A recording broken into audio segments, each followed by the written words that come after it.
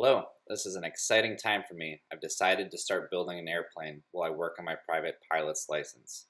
Both of these have been lifelong dreams of mine, and I'm excited to see them through to completion. I've decided personally to start building an RV-7 from Van's Aircraft, and the empennage kit recently arrived. I'm still waiting on a few tools from Aircraft Spruce to arrive before I start building.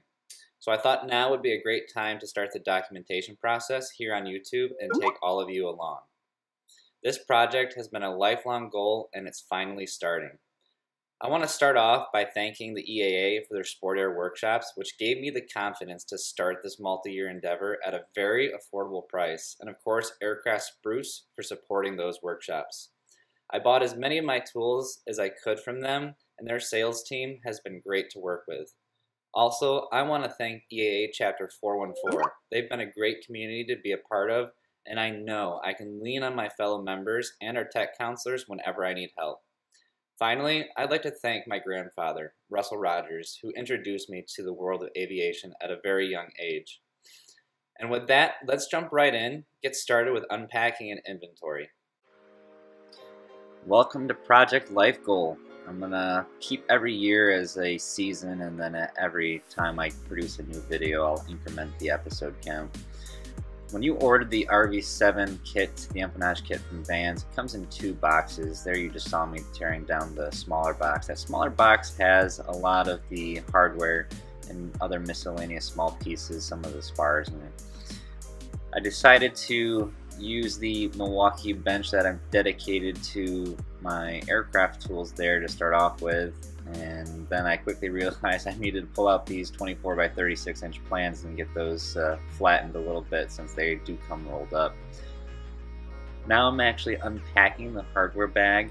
Uh, they put all the rivets and some of the smaller hardware in one big bag and I started to put all of the rivets here on the Milwaukee tool chest and then the other hardware items on a folding bench that I have connected to the wall just to keep things organized and sorted while I was inventorying them. One thing I did do, which did help out greatly following along on the, the shipping list that Van's provides, is to organize the bags using the numbers that are actually on the labels in ascending order. That greatly helped me find the bags as I was looking for them. Uh, every once in a while you'll see me bounce back and forth since I did separate out all the rivets from all the other miscellaneous hardware that comes in this kit. One thing I did do while I was going through the bags that had multiple different types of hardware in them is I'd start writing down on a piece of paper all the part numbers that were in the bag according to the uh, shipping list that Van's provides. I figured this would help me later on down the road when I go to look for a specific fastener or uh, rivet type when they're in commingled bags like that. I haven't spent a huge amount of time going through the actual build documentation yet because I was just so excited to start unpacking everything. Um, but I do recall from uh, watching a video of Jason Ellis, sometimes he had troubles finding the smaller parts he was looking for. So I've always got organization and inventory and additional labeling steps in mind as I'm going through this project.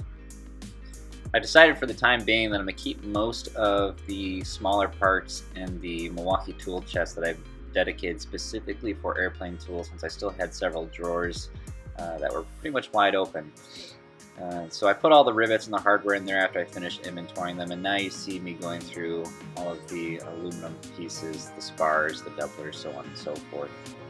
I'm sure once I get into the later kits, keeping everything inside of that Milwaukee tool chest will no longer be an option in terms of parts, as obviously the empennage is the smallest of the kits. Um, and when you get to the fuselage and the wings, I don't think I'll be able to fit everything in there. So I'll have to come up with a another organization strategy once I get to those larger kits. Here I'm starting to go through all the skins, and then my friend uh, Justice and my wife came out to uh, say hello, see how things were going. I can't stress enough how important it is, guys. Keep your family, your friends involved in this process. Uh, I already know it's going to be a, a long effort Get them involved early, keep them involved throughout the entire process. I know my wife's almost as excited as I am. Uh, I wish I had a video of her uh, her face when she came out and saw the kit. It was it was awesome. Well, that's pretty much it for unpacking and inventory. Now that I actually have the kit here, it will definitely help me figure out some additional storage for all the pieces while I'm working on them.